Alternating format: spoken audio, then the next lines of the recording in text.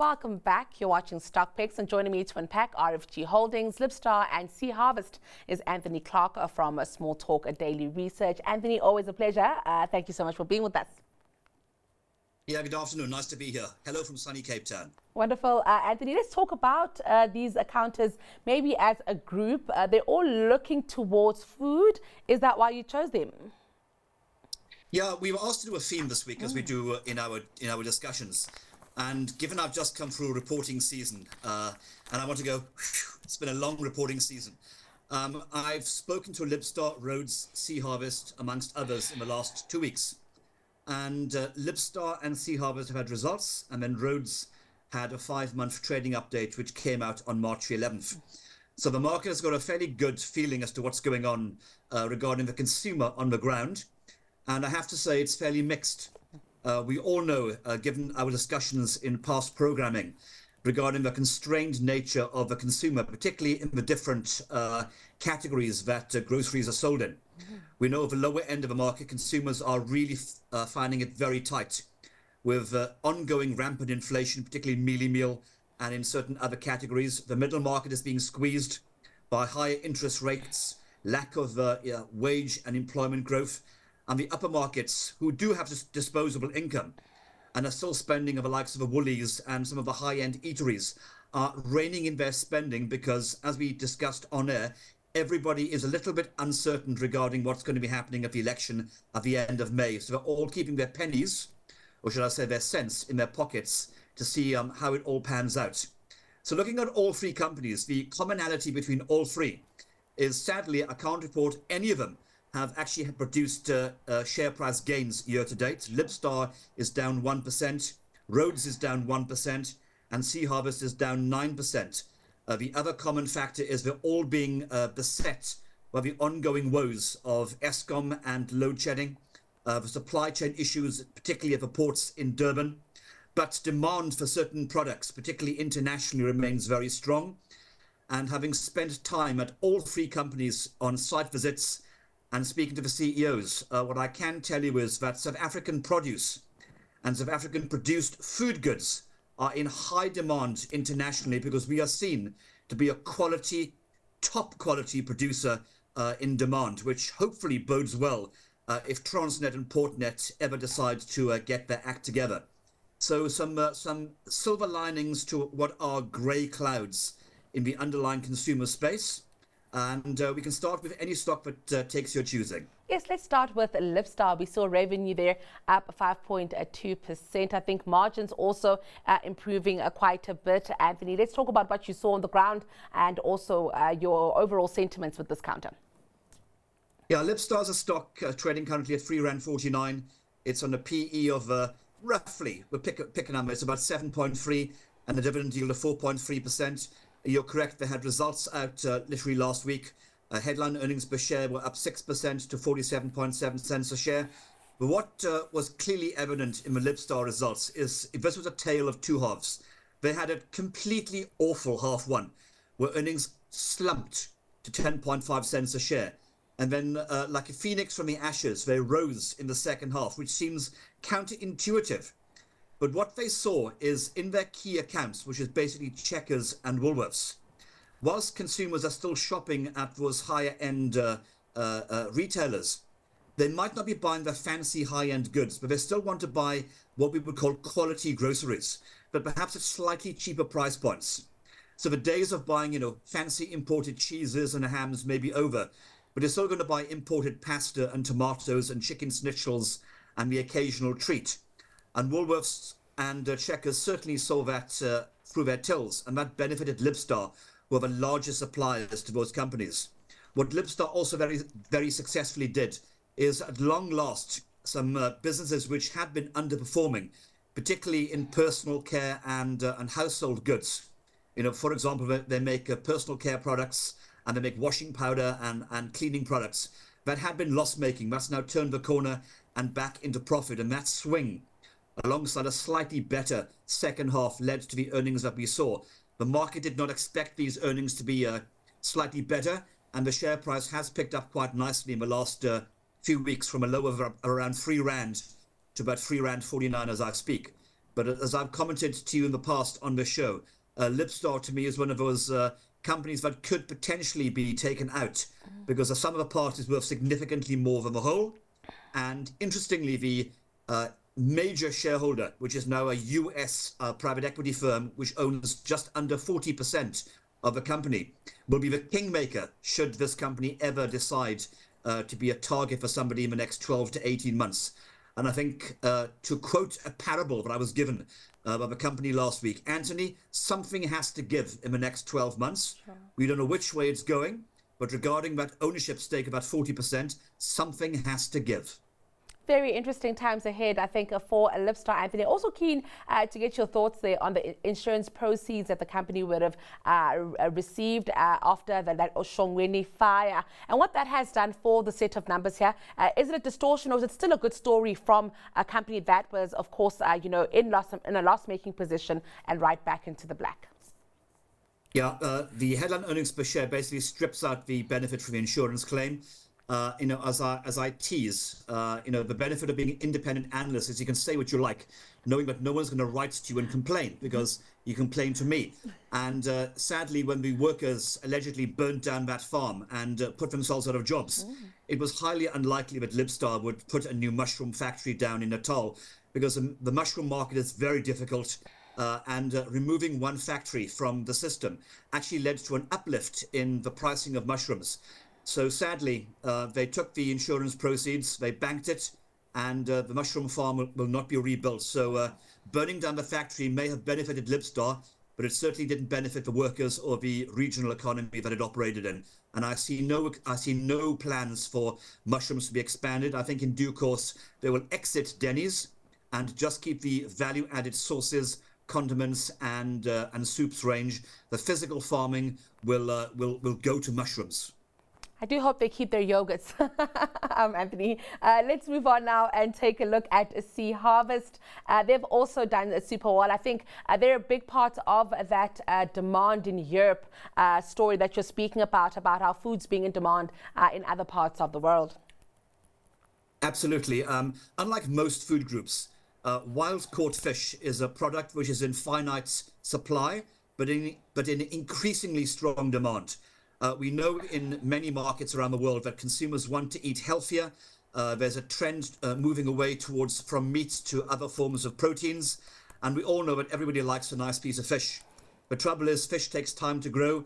Uh, climatic conditions mean that perhaps the catches are not what they used to be back in the day due to overfishing or at one point El Nino or La Nina. But demand continues to be strong.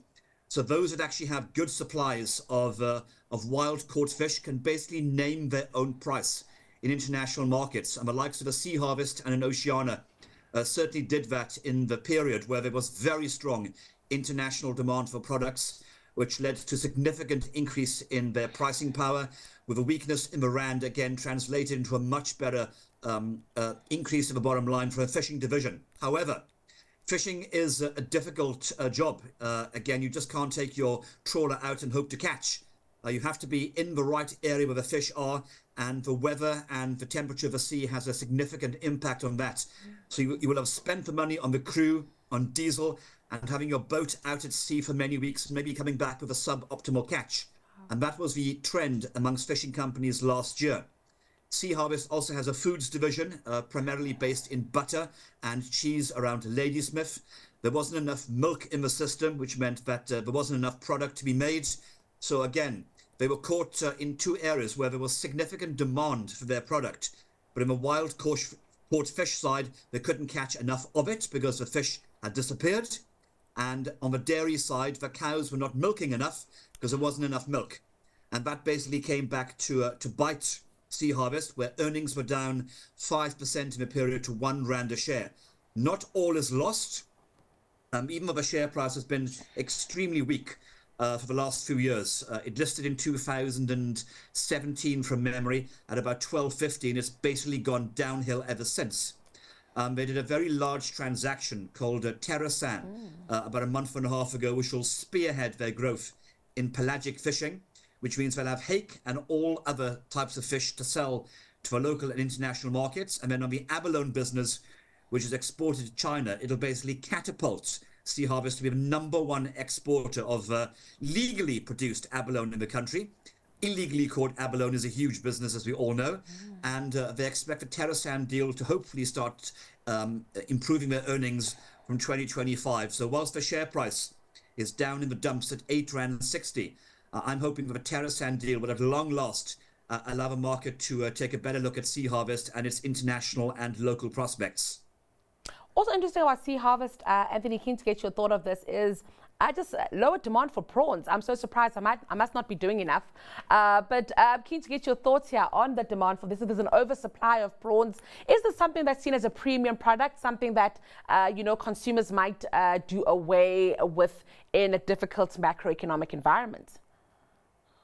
Yeah, the prawn market is only in Australia. Mm. sea Harvest many years ago bought a concession uh, in Australia, which gives it exclusive rights in perpetuity to catch uh, certain types of shellfish, of which one being prawns. Many of the prawns are, uh, are eaten in Australia. You know, everybody has heard of, of the of, of, the Australian term, throwing of, a, of shrimp on the barbie mate. and also, um, there's a very big market in China. And a combination of the COVID hangover and the fact that the Chinese market uh, reopened late, as we all know, because of their extended COVID restrictions, meant that uh, prawns, uh, which could easily be frozen and stockpiled, were basically in, uh, in excess uh, supply in the marketplace. And whilst fresh prawns did quite well, there was just an oversupply in the marketplace. The Chinese were not uh, basically eating enough, and the Australian market was saturated. And we all know when there's too much supply and uh, demand is not matching, prices fall. And that's exactly what happened. You know, it's a seasonal product and Sea Harvest believes that in, in a couple of years, the prawn market should get back to a, a healthy position. But in the last 12 months, uh, there weren't many, there were too many prawns in the Barbie at uh, a too low a price. Let's move on now and touch on uh, Rhodes uh, Food Group. That's an interesting one because it's way more diversified, I think, uh, than the other two that we've spoken about. Uh, let's talk about your thoughts on this one, Anthony. Yeah, I was with Rhodes Foods Management last week on a site visit to see how uh, tinned fruit was made. Uh, it's always interesting to see how the food that we consume as uh, as uh, as consumers is is basically made with uh, hundreds of ladies cutting and peeling fruit to put into cans. Uh, and the company, as you say, is diverse. it's got a large pie business. It has a very large supply business into ready meals in Woolworths. It has a significant export business in tinned fruit and jams, purees and and and concentrates again from fruit. And interestingly, uh, South African fruit, as I said earlier, is seen as one of the top quality fruits produced in any of the main markets, which uh, is basically China, Spain, and Greece. We are seen as one of the top quality producers and the, the product that most retailers and bakeries and food service companies want to use internationally, which is why exports are very prominent in Rhodes Life. The company had a very uh, strong trading update to its five months, which came out on the 11th of March. A result should be out around the 22nd of May. And I think right now the stock is trading at 13 Rand 70. Uh, so a price earnings ratio of, uh, of roughly, again, about seven, seven and a half times, very much in line with Sea Harvest and with, uh, with uh, Libstar. But the underlying prospects for the group, I think, are probably better than the other two because the product it produces uh, is seen as a, as, a, as a far more in-demand product internationally. And at the end of the day, they convert fruit into a value-added product, into jams, uh, concentrates, etc., etc., and even these little plastic cups of, uh, of fruit which are exported. Uh, they mentioned to me that uh, they export 22 million cups of, uh, of fruit a year to the US, and between 55 and 60 million tins of fruit. That's a lot of fruit. So uh, for someone like Rhodes, whose market cap is actually uh, about seven point, sorry, the turnover is 7.8 billion with a market value of 3.6 billion. It's the largest company of the three that I've talked about today. Uh, sea Harvest market cap is 2.6, Libstar's 2.4, and uh, Rhodes is at uh, 3.6. It's a large business, even though its turnover is uh, is actually you know in the middle of a range, but it adds value to all the product it beneficiates. And I think that's the key thing that uh, the stock market wants to see in investors. They want to see value adding beneficiation, uh, exports, and the ability to convert basic product into foods that extra margin can be trapped. And Rhodes does that extremely well. Anthony, with that said, I'm keen for us uh, to, uh, you know, uh, rank them from one to three uh, for the benefit of our retail investors here. It does sound like Rhodes is number one, but let's hear what you say. well, again, given that all stocks year to date have performed, uh, you know, I was going to say abysmally, but down 1% is hardly abysmal. Mm-hmm. If I had to rank them one, two, three, uh, it would be Rhodes, Sea Harvest, Libstar. Um, but again, I have to caveat in terms of special situations and the possibility there may be some form of uh, acquisition uh, target in the next 12 to 18 months. Libstar at 3 Rand 49 is clearly my pick of the bunch. Uh, sea Harvest again uh, for a portfolio looking for international growth in a category where there's going to be rising long-term demand in fish is a counter which I think has great prospects. But as it stands right now, one, two, three would be Rhodes, Sea Harvest, sorry, Rhodes, Libstar, Sea Harvest. Brilliant, Anthony. And in our educational segment today, what do you have for us? Yeah, we have uh, uh, on, on, your questioning an accelerated book build. Mm. Uh, we have an example to use. Uh, last week, uh, Premier Group, which is the country's one of the country's largest food companies, it owns a Blue Ribbon uh, brand of bread, um, had an accelerated book build, which caught the market by surprise. Now, what that basically means is that a large existing shareholder, in this case, Christo Wiese and the private equity company Brait, wanted to raise some money quickly. So rather than going through the process of trying to find buyers to uh, to place the stock at, which could lead to the share price being depressed as the news starts to filter out that there's a large uh, a parcel of stock for sale, because we all know if there's rumors of a large stock sale, the price tends to weaken. So they do what's called an accelerated book build, where they literally knock on your door as a major institution saying, hey, we've got shares to sell. Uh, it's this many shares. Do you want any? And if you do, at what price? And then they get the uh, amalgamated price back where, of, uh, of an average price where people are looking to pay. And they say, fine, there's a price. In this case, it was 60 Rand. And if there's more demand than, uh, than has been indicated, uh, they do what's called a green shoe and extra shares are basically placed. Mm. So what happened last week is that uh, Premier um, saw a billion rand of shares placed, and that money went into a Brait's back pocket. Uh, the share price of uh, Premier actually weakened. It's still trading just above the placement price. So I think the market's got enough bread in its uh, belly for the time being. So I don't see any movement in the share price. But uh, with March results ahead, and I spoke to the company on Monday, I anticipate another very good set of results coming. So I think those that participated in the accelerated book build at 60 Rand will probably have some extra butter on their bread come the March results. Brilliant, Anthony. Thank you so much for that one and enjoy the long weekend. And thank you for joining us on Stock Picks this afternoon. That was Anthony Clark from Small Talk Daily Research. And that's all from the Business Lunch team this afternoon. Catch the show again tomorrow, same time, same place.